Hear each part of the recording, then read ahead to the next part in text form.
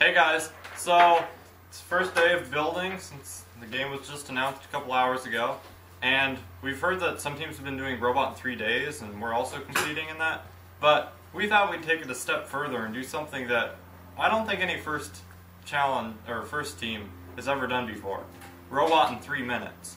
Okay, I drew up some plans, and it has a bunch of unique features. Um, so first, for the robot body, we decided to use an uh, anti-static sweet potato. Oh my. And for our wheels, this year we decided to go with the AndyMark russet potatoes.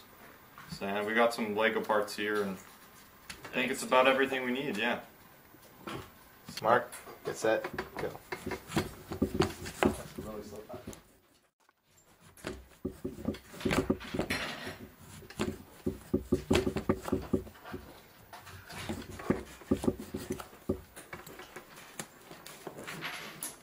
Three, one more. Oh shoot. Okay. Oh, So you can start Excellent. attacks. Yeah.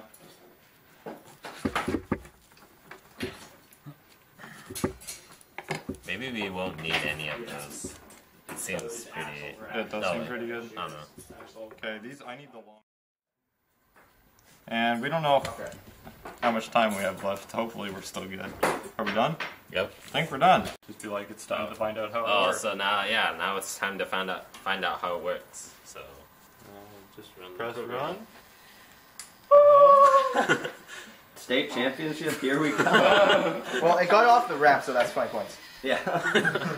Yeah, it's pretty effective. Uh, there's a couple minor flaws. yeah. We might switch out the russet potatoes for some potato chips. Oh, yeah. But otherwise, it's uh, it's looking pretty good. So uh, for all you FTC teams out there, beat that. So some people in our community told us that a robot wasn't entirely legal. It wasn't the size problem, rather it was the number and the fact that we didn't have a Samantha. So now we've made some improvements to our robot. Yeah.